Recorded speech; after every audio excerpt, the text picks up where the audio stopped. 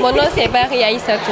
Nous avons fait de moins une innovation dans ce domaine puisque nous avons remarqué qu'il y avait tant de fruits et de légumes qui pourrissaient, qui restaient sans être consommés. Et ça, c'est dû au manque d'infrastructures comme de chambres froides et tout. C'est pourquoi nous avons jugé nécessaire de mettre en place ce dispositif intelligent de conservation des produits agricoles, les fruits, les légumes et les tubercules.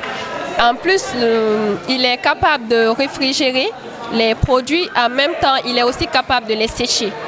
Vous voyez un peu. En plus, ce dispositif il est intelligent de sorte qu'il est lié à une application mobile pour gérer la température des aliments et doté d'une IA évidemment. C'est pour aider les agriculteurs, les vendeurs et les transformateurs de produits agricoles à conserver leurs produits sur le long terme pour éviter les pertes, post-récolte et pour éviter euh, le gaspillage de, revenus.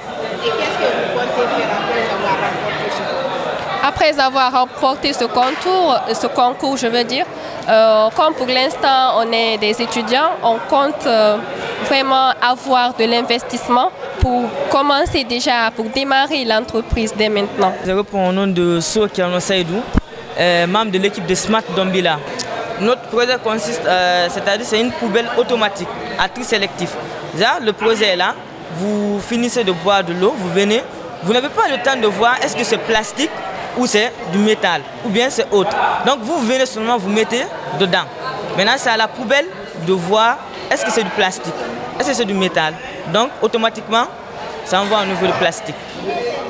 Maintenant, ensuite, ça favorise le recyclage. Avec un monde euh, de réchauffement climatique, à travers ces aides de projet, nous favorisons le recyclage.